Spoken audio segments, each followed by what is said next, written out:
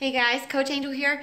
So I'm sharing with you a quick tip of how I approach meal planning each and every week, whether we're buying for, I mean, the entire week or only half a week or whatever.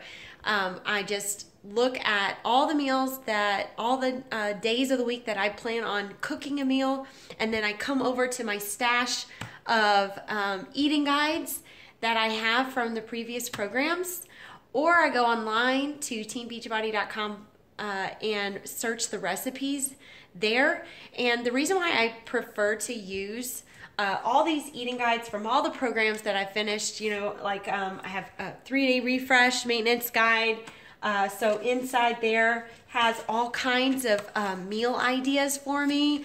Uh, so like tonight we're going to be having uh, some fajitas. It's kind of a fajita, I forget what they call it, but it's in the, um, it's right in here. Here we go, right there. Uh, at the option number one uh, meal, we chose that. It looked really good to us.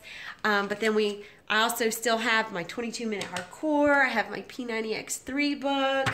I have my Fixate and all of my 21 day fix eating guides, my PiYo guide. So size is another good one that I like to pull from. They have a really good Asian stir fry in there.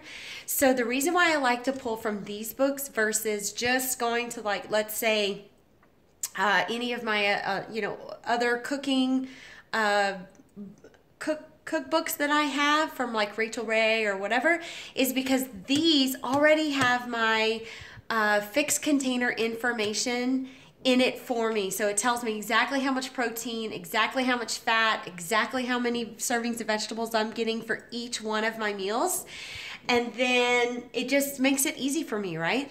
So then um, once I know how many days of the week that I plan on eating, and I come in here and I grab the recipes that I want, then I'm also able to just write down the ingredients and move on. Now, this is another resource that I use because remember, Shakeology is one of my meals every day. So I like to hold on to my recipe calendars that come in every single one of your boxes of Shakeology when you order it. So let's say you ordered a box of strawberry uh, Shakeology, then you're going to get one with strawberry based recipes and chocolate and vanilla and so on, right? So this is a really cool tool that I noticed in our most recent box of Shakeology that came in. And uh, on one side, it, it shows you how to craft a creamy Shakeology creation, but it kind of breaks down, gives you all kinds of ideas that you can put inside your shake. So you start with your base of either water or milk or coconut milk or cashew milk or so on, and then how to add your greens and different fruits and vegetables vegetable ideas um, or any extras to create different flavors because you can really get creative with your shakes, you guys. I, I tend to keep it simple, but you know, you can get really creative if you want to, okay? And then on the other side, it, gave, it gives you several different recipes. So like the top one in the chocolate, it gives you a cinnamon roll recipe. And then you've got um, some ideas for green berry. So no matter what flavor you have, cafe latte, tropical strawberry, whatever, they've given you several ideas on that. So I thought that was a pretty cool uh, neat new insert that you can look for in your next Shakeology shipment. But um, that's kind of how I how I approach. These are the resources that I like to use.